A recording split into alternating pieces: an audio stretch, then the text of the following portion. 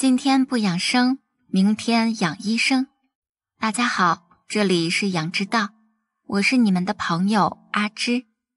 虽说现在秋季天气也没有夏季那么炎热，但是秋老虎天气也会持续一段时间，再加上换季、高温等因素，家里最容易忽略的螨虫问题也是愈发的严重了。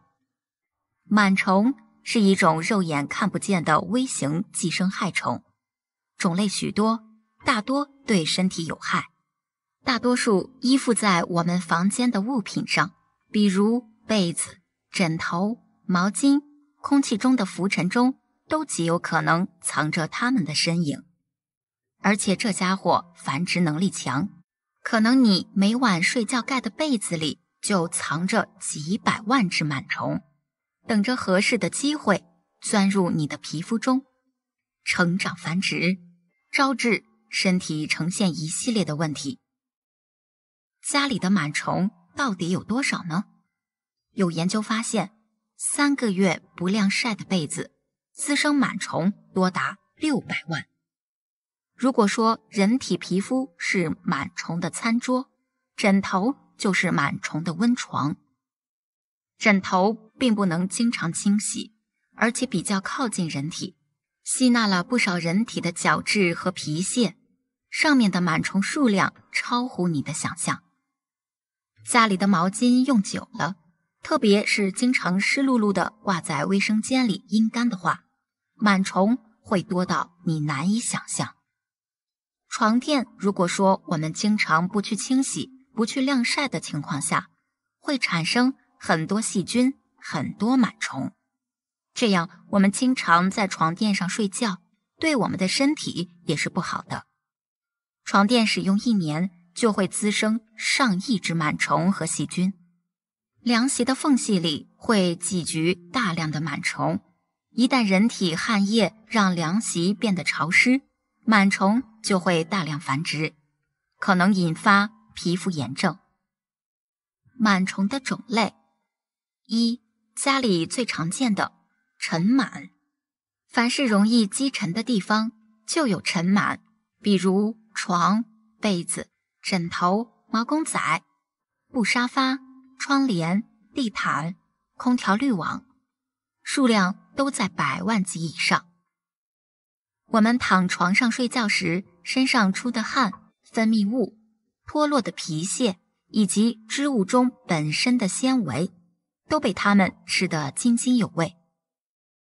二，人体最常见的蠕形螨，蠕形螨寄生在皮肤的皮囊、皮脂腺里，一辈子吃喝拉撒都在人的脸上，每天咔哧咔哧吃点你毛囊里的死皮皮脂。长痘的人皮肤上的蠕形螨也特别多，正常人的皮肤每平方厘米平均。零点七条，长了玫瑰痤疮的人平均十点八条，在丘疹脓包期平均三十六条。螨虫的种类还有很多，目前已知的螨虫已有五万多种，仅次于昆虫，比如革螨，大多寄生于鼠类、鸟类、家禽、宠物及它们的巢穴中。样螨，野外的草丛比较多，可能引起样虫病。疥螨寄生在人体表皮角质层内，以啃食角质组织为生。被疥螨感染后会得疥疮。粉螨常见于谷物、干果、糖类、淀粉以及富含糖类、淀粉的中药材。我们很多时候感觉不到。那是因为它们太小，在显微镜下，螨虫的外形有点像蜘蛛，但要小得多，身长一般在零点五毫米左右，有些不到零点一毫米。螨虫是最常见的过敏源，很多人患有鼻炎、哮喘、皮炎，都可能是因为螨虫。尘螨的粪便和它腐烂的肢体。还有强效过敏原，是很多人过敏的常见元凶。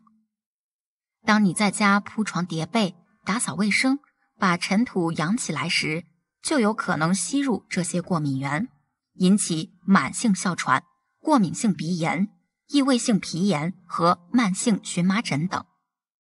而寄生在毛囊中的蠕形螨，则跟面部丘疹、毛孔粗大、酒糟鼻等症状有关。让人特别恶心的是，螨形虫从不拉屎，直到死后才一次性排在我们皮肤上，可能引发我们身体的免疫反应。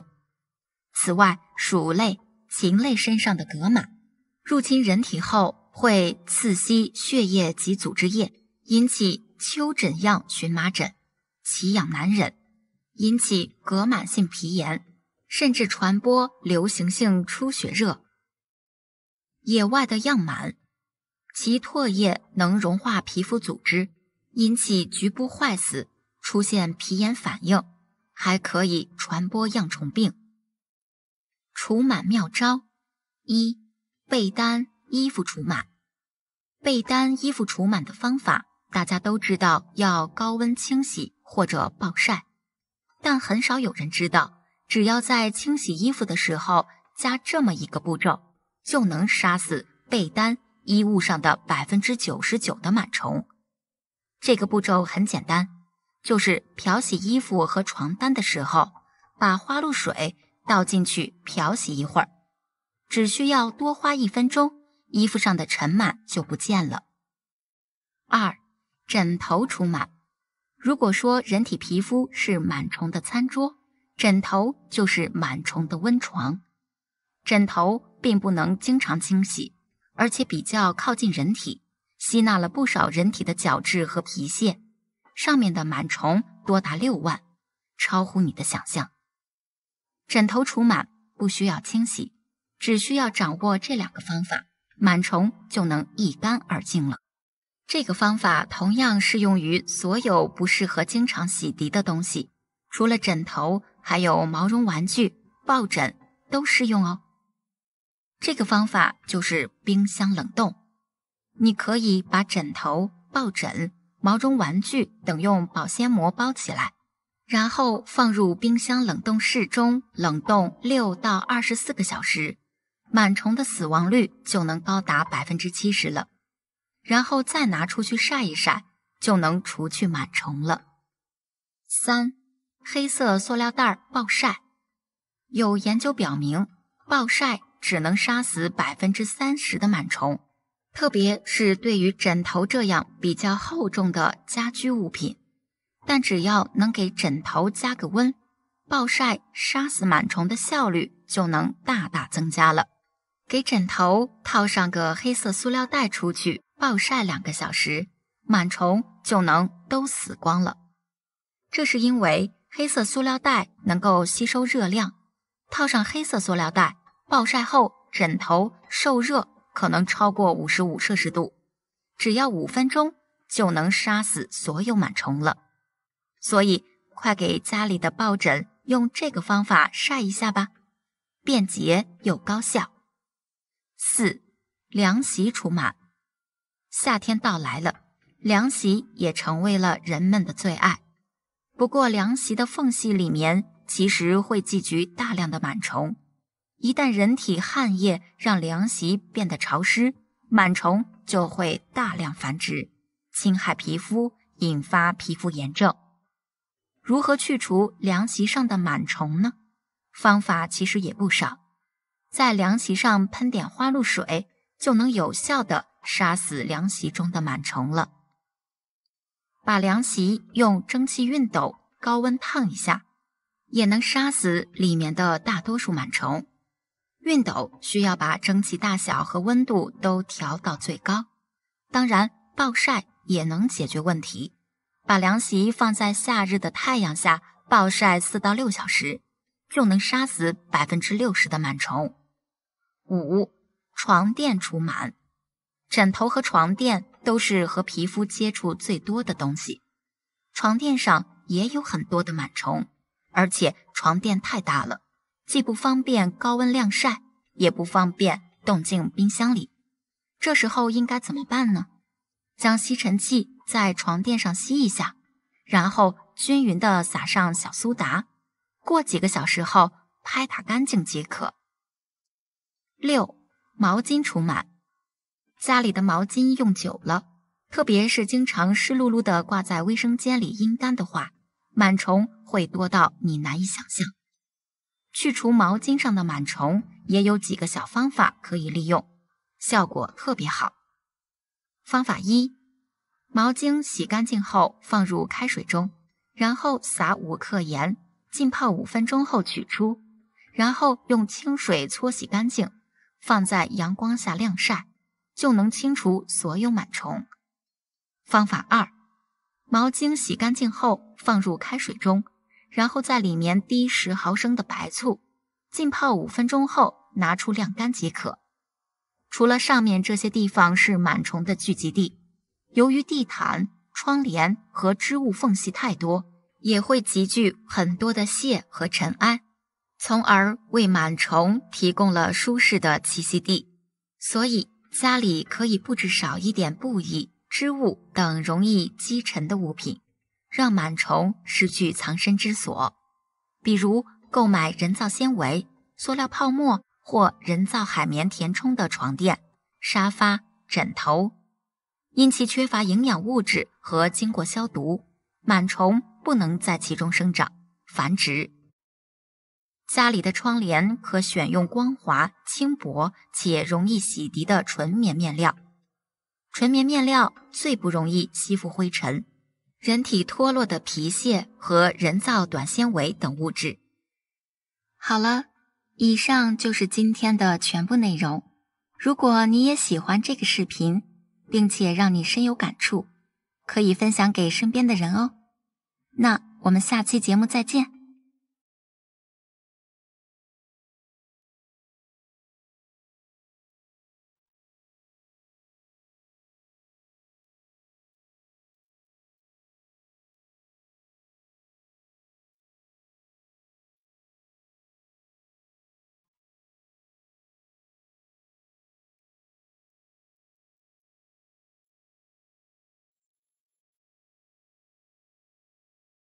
今天不养生，明天养医生。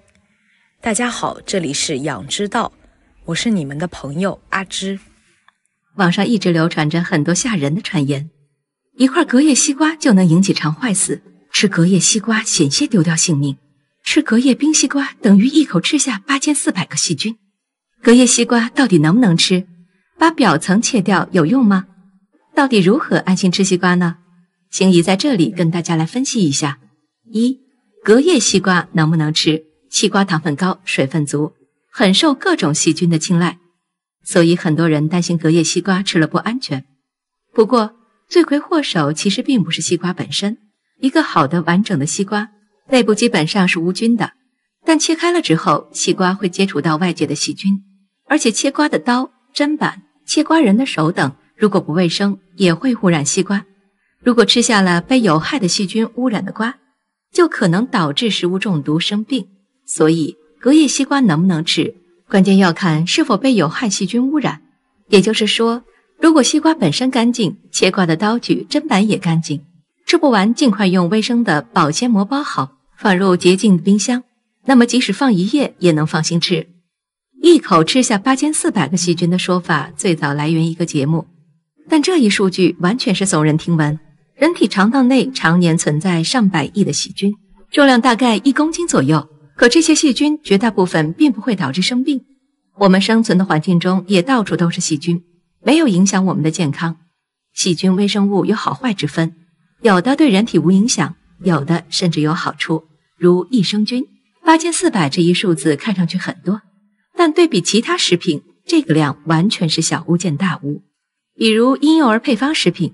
我国国标对它细菌总数的限量值是每克一万个，而大家在冷饮店里买的奶茶、果茶，细菌总数标准是不超过每克五万个。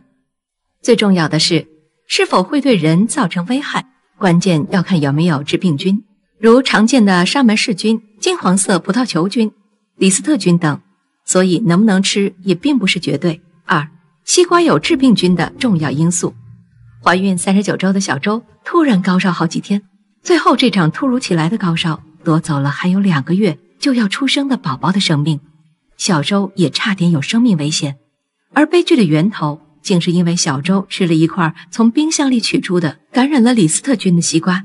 李斯特菌是一种兼性厌氧菌，广泛存在于自然界，动物食品如牛奶、鸡肉都可以被污染，主要以食物为传染媒介。李斯特菌被称为冰箱杀手，在二到八度条件下可以繁殖，是威胁人类健康的病原菌之一。误食了感染了李斯特菌的食物后，可引起各种感染，如孕晨感染。由于孕妇的细胞免疫功能下降，易感染本菌，可出现发热、头痛、肌痛等症状。也可发生于新生儿脑膜炎，成人脑膜炎则多发生在免疫功能不良的患者，如淋巴瘤、器官移植者等。李斯特菌可能隐藏在这些食物中，放置时间比较长的三明治、没有完全煮熟的豆芽、烟熏海鲜类、未经灭菌的牛奶、冷的肉类熟食、未经杀菌的蛋黄酱等。三，这些食物也不能放冰箱。一，香蕉，别忘了，香蕉是热带水果。它们最喜欢的就是温暖的环境。如果是还没成熟的绿香蕉，制冷会打断其成熟过程，放在冰箱中的绿香蕉也不会勇于变成黄香蕉。如果是成熟的黄香蕉，香蕉皮会在冰箱中变黑，腐烂的更快。这是因为寒冷分解了果皮的细胞壁，使化合物氧化产生黑色素。跟香蕉一样，荔枝也是热带水果。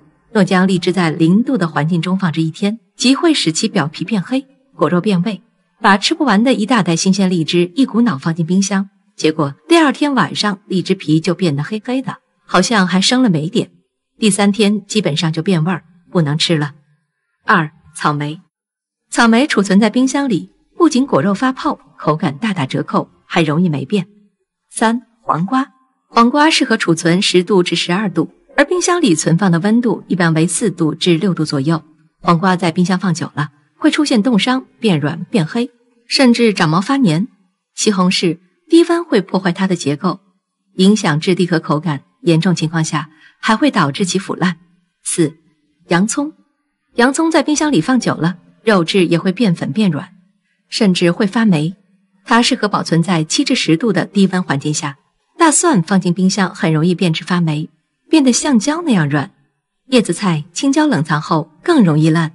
五、腌制品，腌制品放入冰箱后，其残留的水分极易冻结成冰，会加速脂肪的氧化，脂肪就会很快酸败，致使腌制品品质明显下降，出现哈喇味儿。特别是一些脂肪高的肉类腌制品，储存腌制品只需将其挂在避光通风的地方，防止太阳暴晒，达到防止脂肪氧化酸败的目的即可。六、蜂蜜。蜂蜜在温度过低的时候，会加速糖分结晶的速度，影响口感，而且咬出去后很容易变质。由于蜂蜜糖多，水分活度很低，细菌等微生物不容易生长，所以保质期会很长。即使开封了，常温保存也不会坏，没必要放冰箱里占地方。七鱼，鱼最好现买现吃，不要在冰箱里储藏。如果你一定要把鱼放冰箱，这就很考验你家冰箱的冷藏能力了。一般家用冰箱的冷藏温度为零下十五度，最佳冰箱也只能达到零下二十度。而鱼类在储藏温度不够零下三十度以下时，会发生脱水变质。比如鲫鱼在冰箱放久了，会出现鱼肉腐败。四、怎样吃瓜更安全？想要安心吃西瓜，关键是要注意卫生，防止被致病菌污染。一、在吃西瓜时，注意尽量买新鲜完整的西瓜。完整的西瓜不会有细菌污染的风险，而预先切好的瓜，刀和菜板的卫生以及保存条件都没保障，受细菌污染的风险就要大很多。如果要买，一定要保证这些瓜都是盖着保鲜膜冷藏保存着的。二，尽量不要买大个头的西瓜，个头大的西瓜经常一次性吃不完，就要长时间保存，在保存过程中就有被污染的风险。三，洗手再洗瓜。切瓜前，先把自己的手洗干净。鉴于西瓜外皮也可能被污染，所以最好也可以先把西瓜整体洗干净，包括皮的部分，再切开吃。四、注意刀和菜板的卫生。用来切西瓜的刀和菜板需要保持干净，不要和切生肉的混用。那切完生蔬菜的刀和菜板可以用来切瓜吗？也要洗净后再拿来切。最好家里备用专门用来切水果的刀和菜板。五、尽快放冰箱。切开后实在吃不下的西瓜，应尽快贴好保鲜膜放进冰箱。六、注意冰箱卫生，尽快吃完。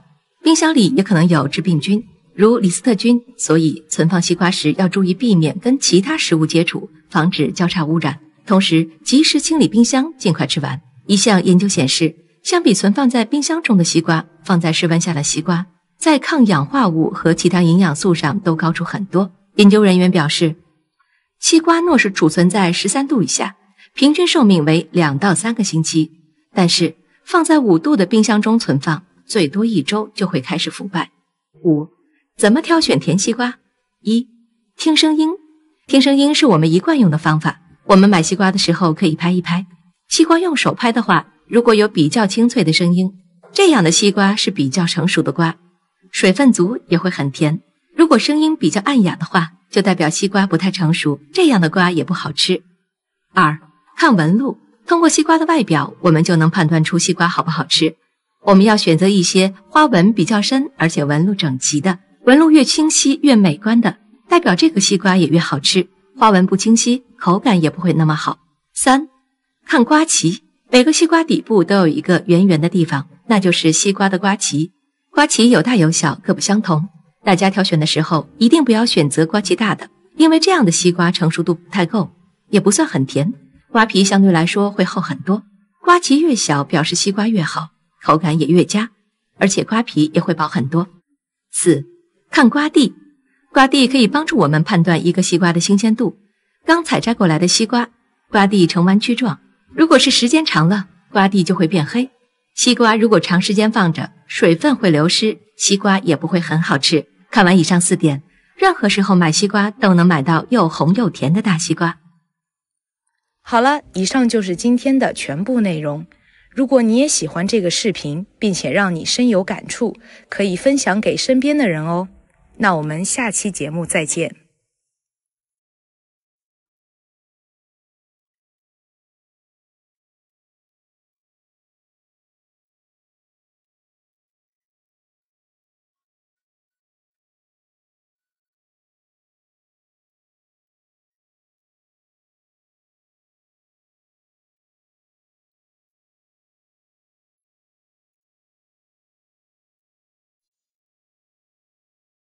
今天不养生，明天养医生。大家好，这里是养之道，我是你们的朋友阿芝，我在这里等你。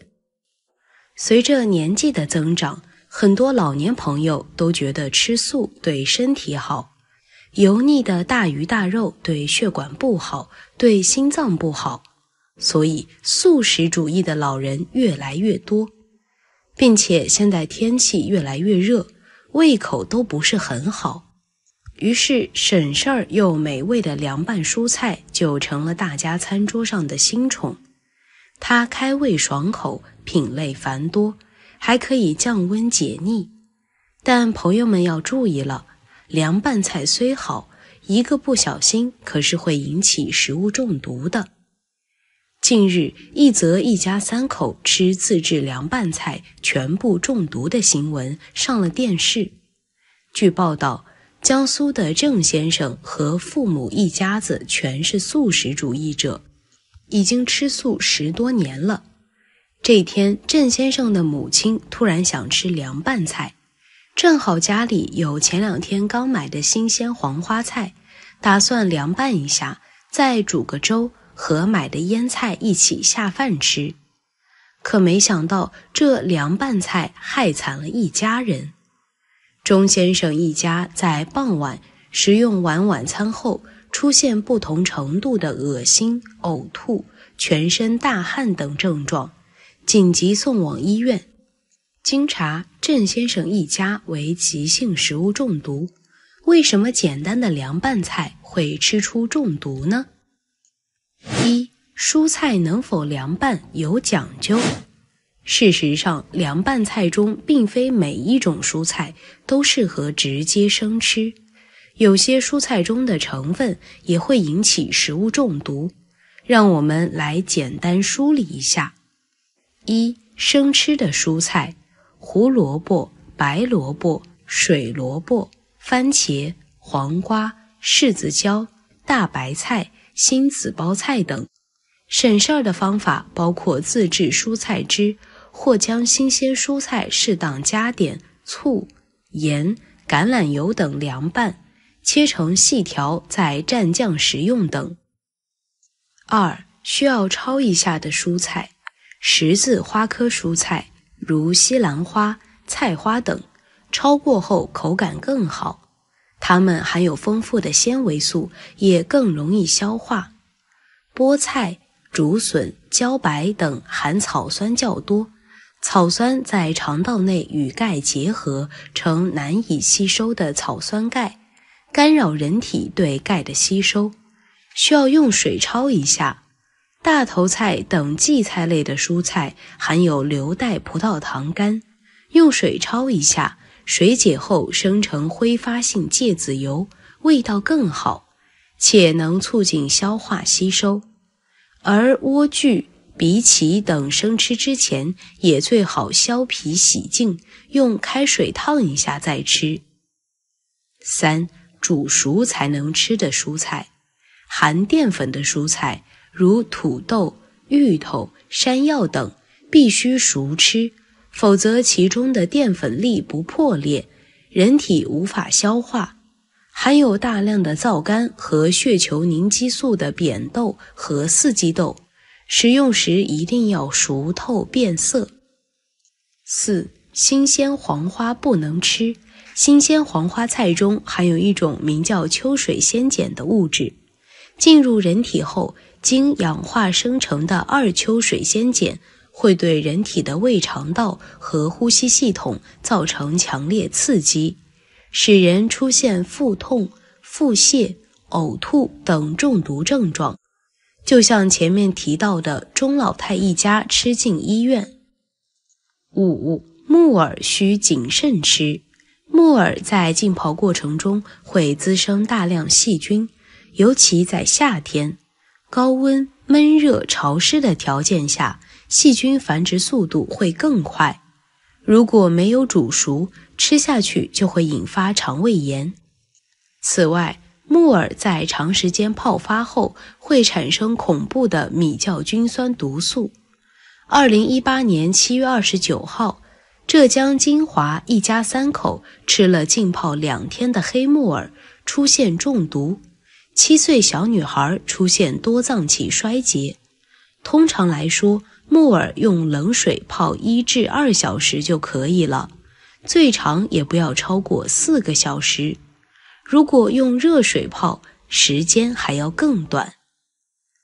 二四种最脏菜，除了自制凉拌菜要了解清楚外，我们在买菜的时候也一定要注意，不然买到坏的菜吃了对身体是没有好处的。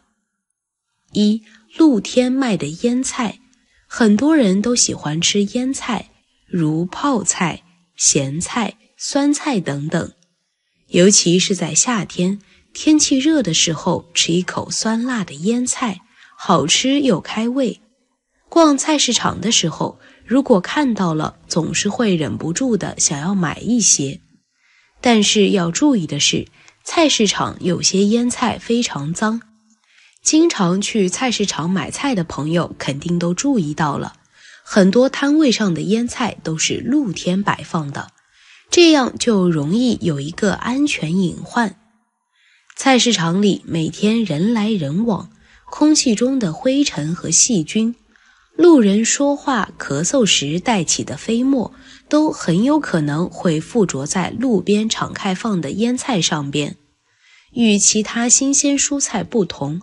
很多腌菜都是长期浸泡在水里，如果有细菌进入，在潮湿温暖的环境下，很容易腐败变质。夏季天热，菜市场空间不大，时常一进一出便是满头大汗，这样的环境下对腌菜的保存并不利。再者，腌菜本身存在亚硝酸盐，这种物质进入人体后。或使患癌风险增高，腌制的食物或多或少都会产生亚硝酸盐，但亚硝酸盐的含量并非恒定的。我们一般建议腌菜，要么刚开始腌的几个小时吃，要么等二十天后再吃。注意，并非时间越长越好。到了低谷之后，亚硝酸盐的含量又会小幅度上升，还会出现臭味、长霉等情况。这说明食材已经发生变质了。而菜市场露天摆放的腌菜，你并不清楚它腌制了多长时间，因此建议露天摆放的腌菜就别再买了。日常应前往正规的商家店铺购买。如果实在不放心，自制是不错的选择。二，做好的肉馅儿。随着科学技术的不断进步，生活水平越来越高，人也越来越懒了，所以有些人包饺子都是买现成的肉馅儿。但是很多人都不知道的是，这些看似方便的肉馅儿。实际上隐藏了不少的安全隐患，例如肉馅儿是用什么肉制成的？是新鲜猪肉还是卖剩的猪肉？亦或是价格便宜有问题的猪肉呢？可这些肉都变成肉馅了，所以根本就不知道这是什么肉打成的，就怕有些不良商家将一些快过期的肉制成肉馅。而一旦搅成肉泥，我们就很难辨别出它是否新鲜。这样的肉吃下去对身体也是非常不好的。建议如果不想自己回家切猪肉，可以自己购买生鲜肉，让卖家帮忙绞肉。如果家里有条件的，也可以自己买个绞肉机，这样就可以把肉买回家自己剁了。三。散装丸子，肉丸子是很多人都喜欢吃的一种食物，尤其是吃火锅时是必不可少的。有些摊主或许考虑到部分消费者的需求不高，买不了一整袋的丸子，于是便散装售卖。有些买家也乐见其成，毕竟也想一次就吃到牛肉丸、猪肉丸。鱼丸等各种不同的肉丸子，然而原本应在包装里的丸子暴露于空气中，容易沾染细菌，食用后可能会引起腹泻、肠胃炎等胃肠道疾病。而且有些商家为了节省成本，还会将一些卖剩的丸子重新冷冻，而来回的解冻、冷冻。会导致有害菌落的数量增加，只是很多商家都忽视不重视。建议大家为了自身健康，最好购买正规厂家出售的袋装肉丸。关于如何挑袋装丸子，这里再给大家分享一招：看包装上有无附双冰渣，有冰渣的可能是反复冷冻、解冻过的食物，变质风险高。四熟食卤味，菜市场的卤菜小摊上的食物不一定新鲜干净。卤菜用调味料卤过的，一般制作好的卤菜颜色偏深，肉眼也是看不出来是否新鲜。而且加了各种调味料后，尝也不一定能尝出来。夏季气温高，是致病微生物最容易滋生的季节。而熟食卤味的制作一般没有经过高温杀毒的步骤，若制作过程中因卫生条件差或操作不规范，很容易导致细菌污染。还有些商家把当天没卖完的菜品第二天接着卖，隔夜食物如果保存不当，特招细菌。尤其现在越来越热的情况下。建议尽量不要在外购买熟食卤味，最好在家中自己做。如果要买，也要选择正规的、卫生条件好的地方。好了，以上就是今天的全部内容。如果你也喜欢这个视频，并且让你深有感触，可以分享给身边的人哦。那我们下期节目再见。